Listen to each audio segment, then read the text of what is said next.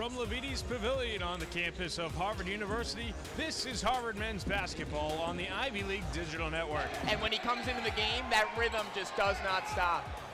Underneath Emery, Edosomwan his second block of the day.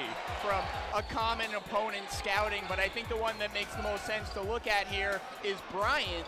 36% from long range this season, and they've seen some opportunities. Another block, this time Chris Lewis. Siyani Chambers all the way up, and nice defense, but a foul will be called. Now back within six. Big block by Dickinson. Second chance opportunities to limit what Dartmouth's able to do on offense. And Ozum on the dunk.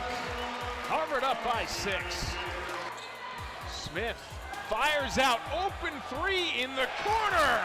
Home for right, and Dartmouth takes a lead going into halftime. That's a huge momentum shift. Now to Smith. Boudreau underneath over Johnson and one opportunity in the first half.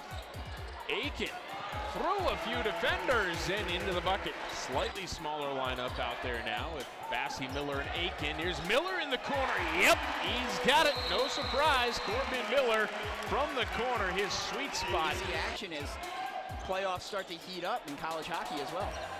Boudreau knocked away by Lewis again. Harvard shooting 49% on the day.